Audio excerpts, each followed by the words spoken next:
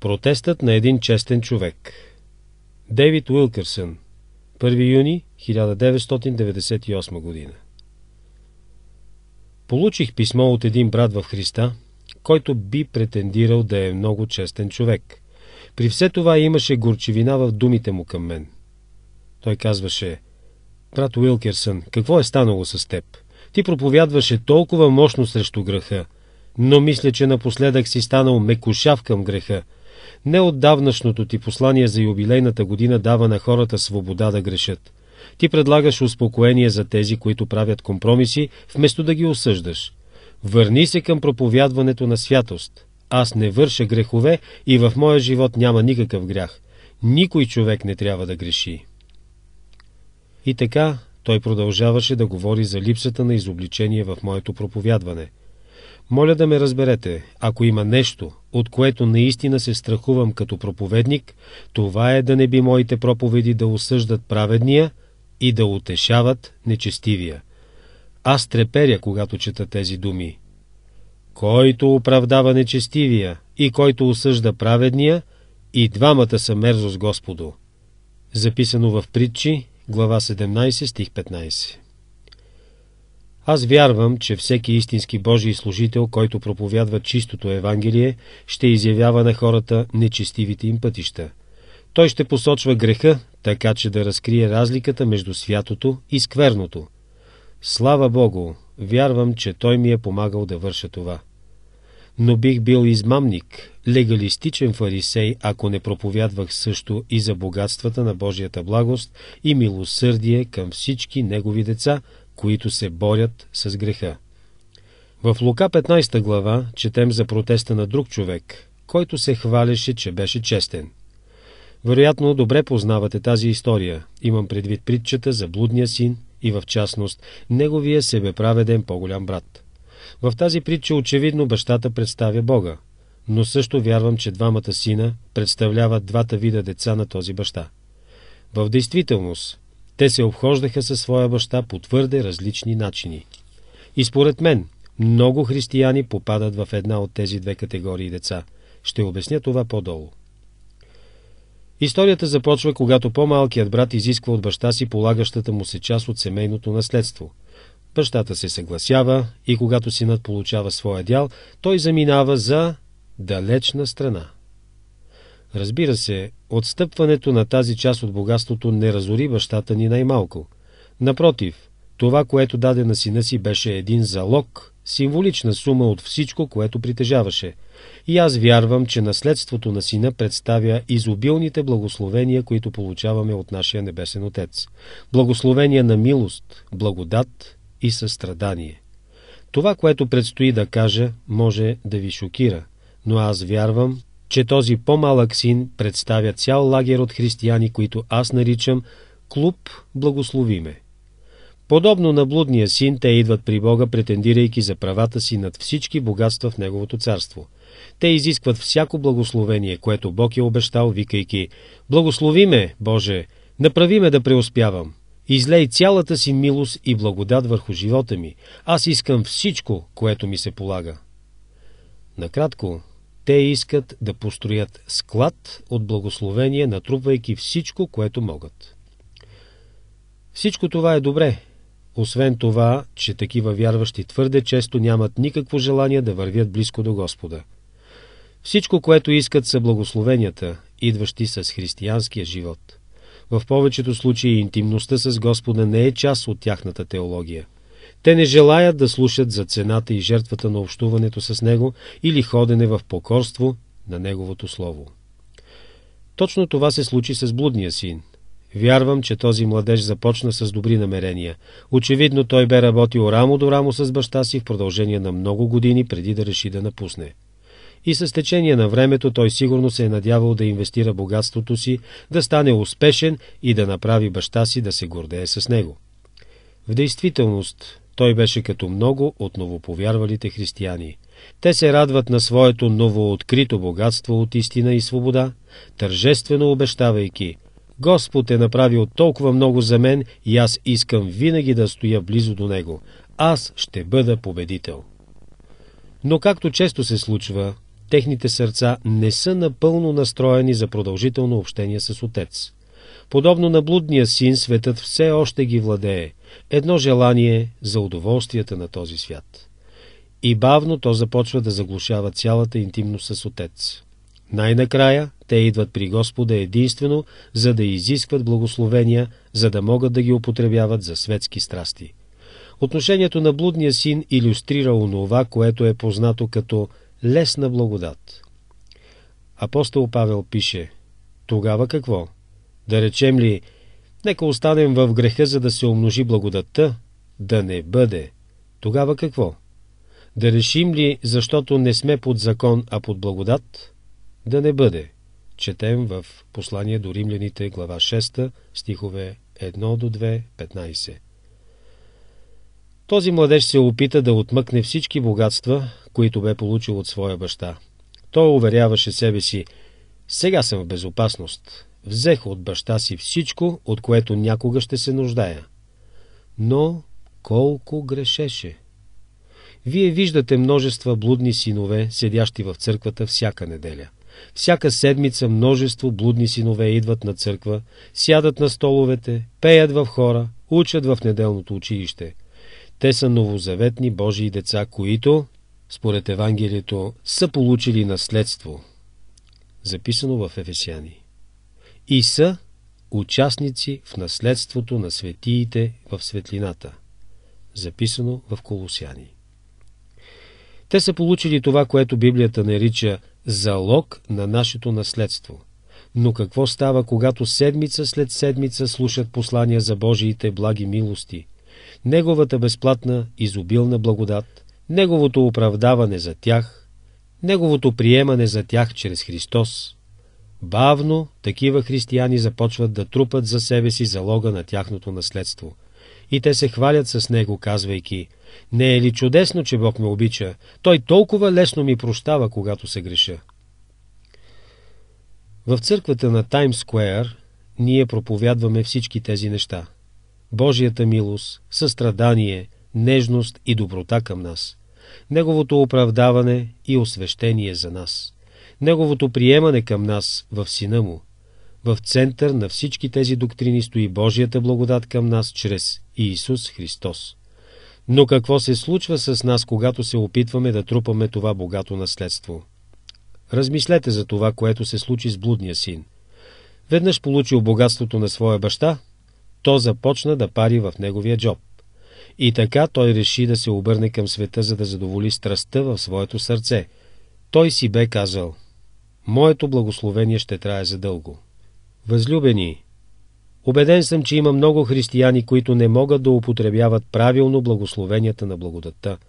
Те се гордеят с посланието за Божията незаслужена прошка, пълнейки умовете си с всички библейски стихове, описващи Неговата милост и състрадание. Те обичат да слушат историята за пастира, който търси заблудената овца, защото това им носи голяма утеха но веднъж запасили се с богатата, славна истина за Божията благодат към тях, тя започва да пари в техните телесни кисии. И тя се превръща в тяхното позволение да се грешават. По този начин блудният син злоупотреби с богатството си. Той пропиля парите на баща си с партита, хазарт, пиянства, спейки с проститутки. Вечер след вечер той прахосваше благословенията си, пропадайки по-дълбоко и по-дълбоко в греха. При все това всяка сутрин той ставаше, отърсвайки се от всяко осъждение и утешаваше себе си, като преглеждаше запасите си. Той си казваше, все още имам доста, мога да харча спокойно. Подобно на блудния син, много съвременни християни се отправят към някое място на забранено удоволствие, за да похарчат богатствата си в разюздан живот.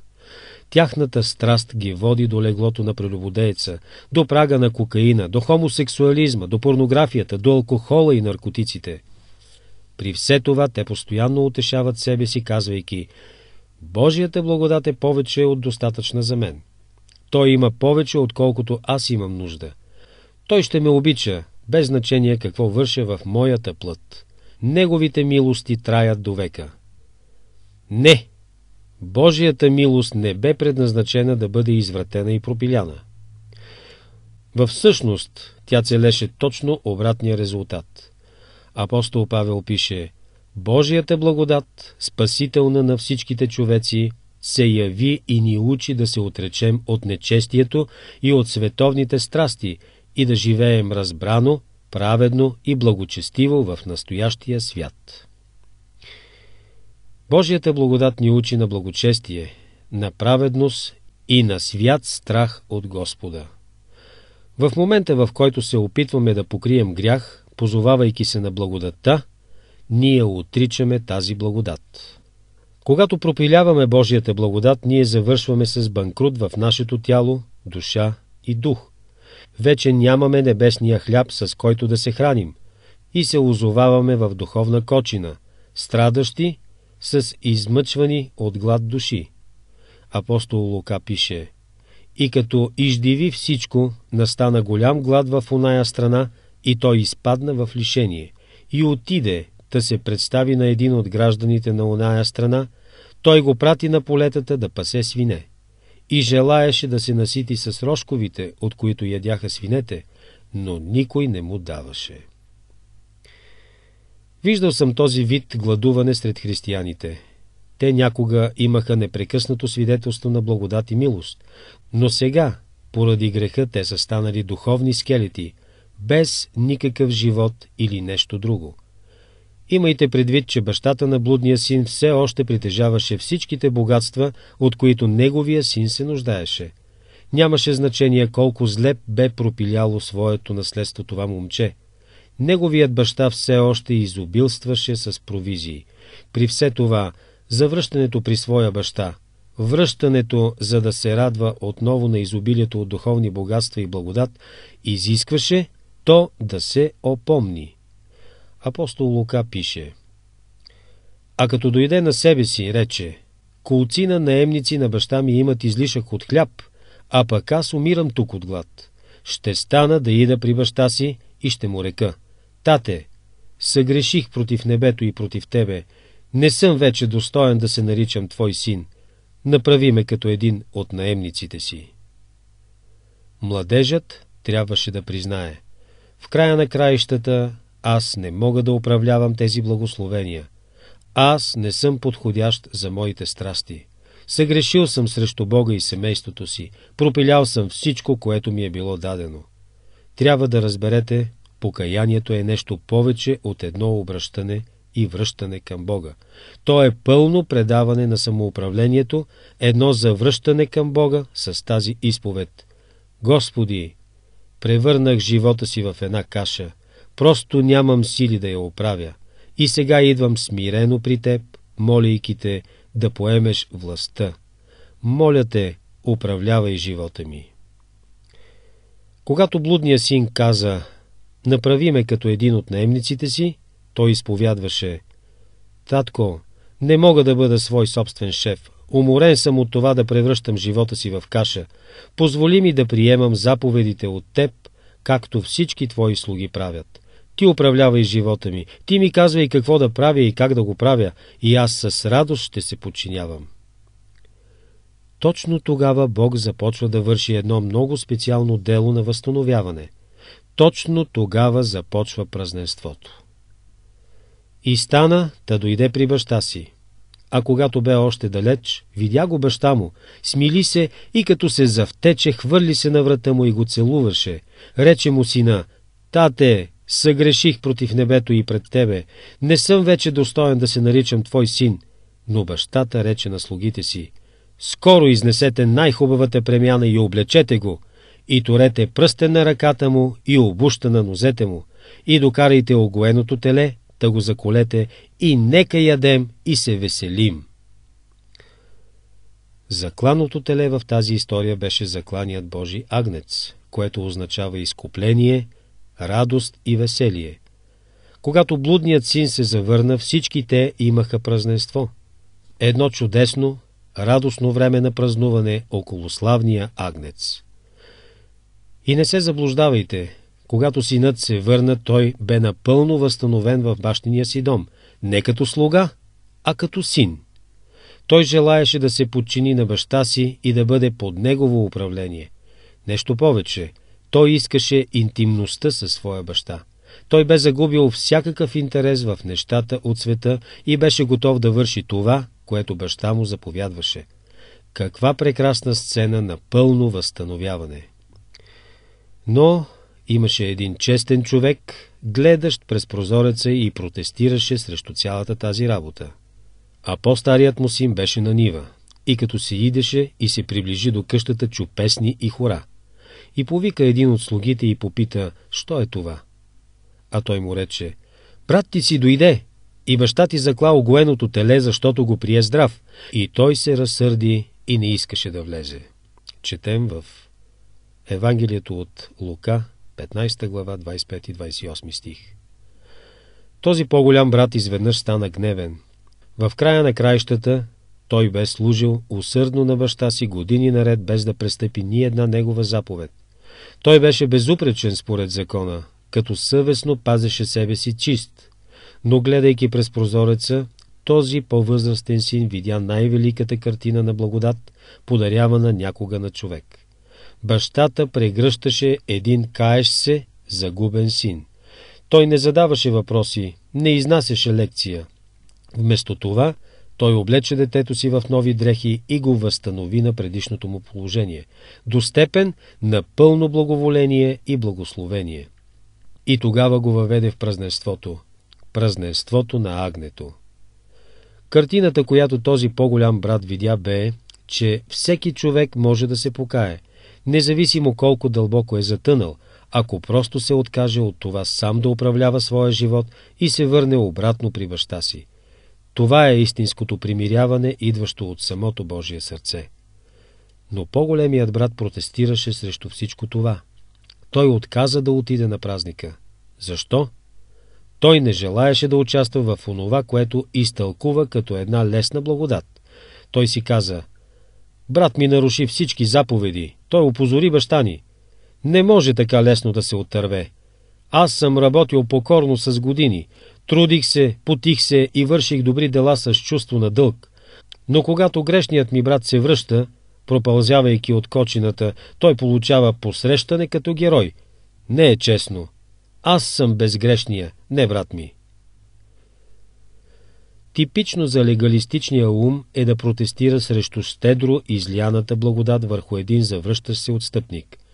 Много християни, когато стоят до някой наркоман или алкохолик в църква, си мислят «Благодаря на Бога, че никога не съм се грешавал по този начин. Той би могъл да падне утре отново. Ще стоя надалеч от него, докато не се убедя, че се е обърнал истински». Но писанието казва, че този вид гордост е по-убийствена от всяко пристрастяване. Така, щото който мисли, че стои, нека внимава да не падне.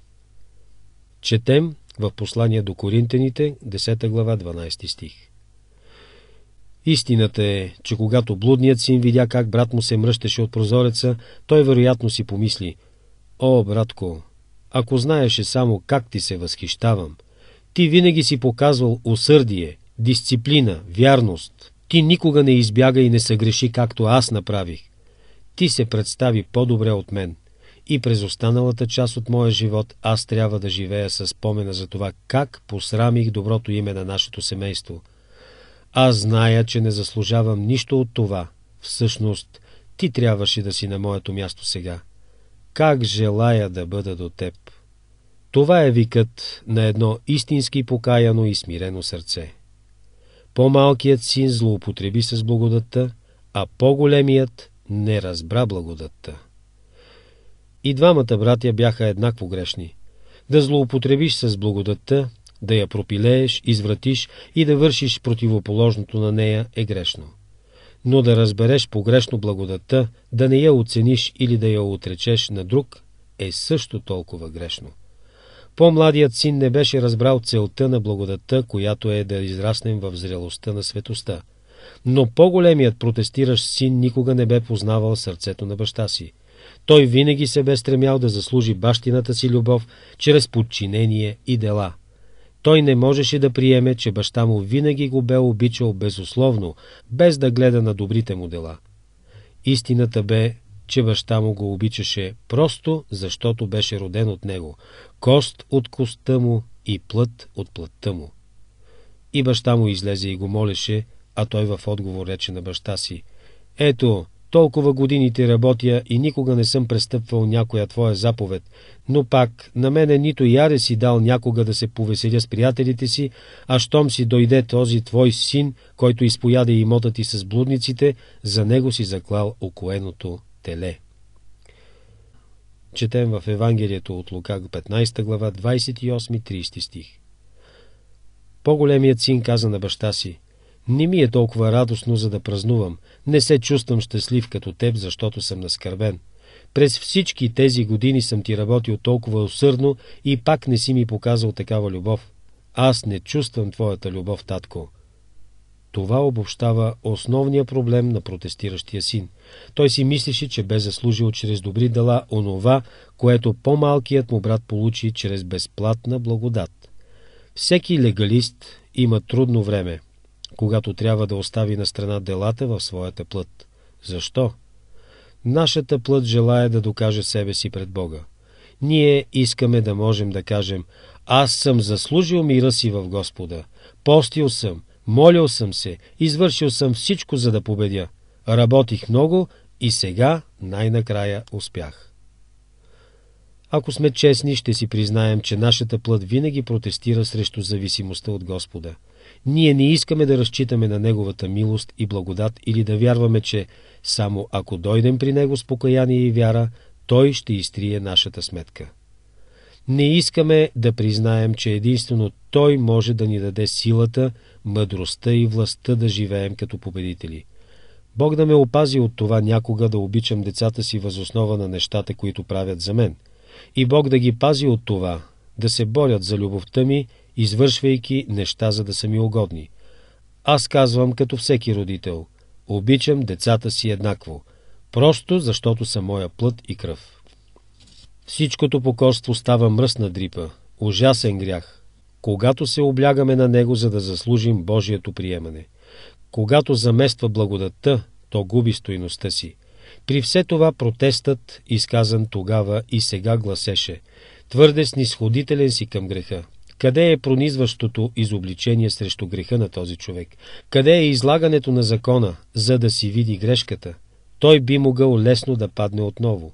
Накарай го да докаже покаянието си. Той не е имал време да се научи на святост, да се подчинява на Божиите заповеди, да жертва.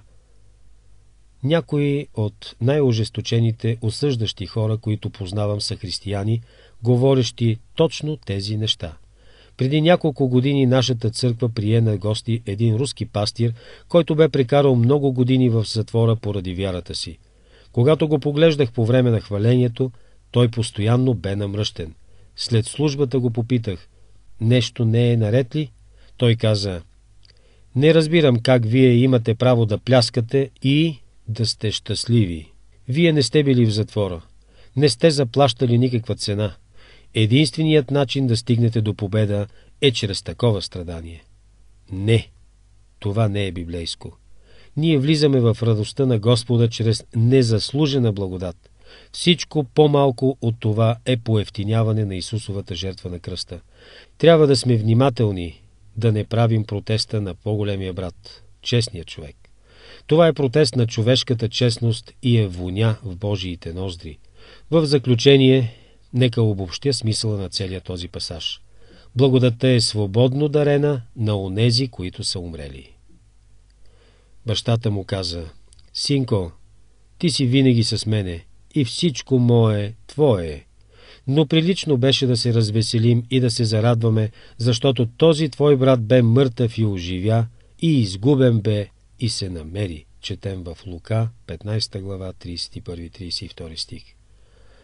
По-малкият син, затънал в мръсотията на самотата, причинена от греха, бе мъртъв за собствената си воля. И в своето нещастие той преживя нещо отвъд своята болка. Той преживя своята безпомощност. Когато си спомни за баща си, той искаше да се върне обратно при него и да му се предаде напълно. Той знаеше, че никога не би могъл да изплати на баща си или да му угоди чрез някакви добри дела. Той видя, че бе напълно зависим от бащината си благодат и любов за всеки вид възстановяване. По-големият син никога не почувства своята безпомощност, колко безнадежден бе в опитите си да постави мост над пропаста между себе си и Бога.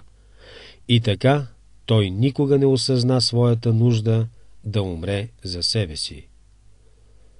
Възлюбени, тази бездна никога не може да се преодолее чрез дела, обещания или лични усилия. Нашето приемане в любовта на Отец идва единствено чрез кръвта на Господ Исус Христос. Няма никакъв друг предлог. Единствено кръста може да постави мост над пропаста. Вие може да протестирате срещу всичко, което написах тук. Може да кажете, брат Уилкерсън, ти казваш на грешниците, че ако само се покаят, всичко изведнъж ще бъде наред, че Бог ще изтрие тяхното минало и моментално ще ги въведе в своето благоволение и благословение. Да, точно това проповядвам, защото точно това е, което и Исус казва в тази притча. Когато един грешник се обърне към Господа в пълно покаяние, съкрушеност и смирение, той моментално се озовава в любящите ръце на своя пастир. Алилуя!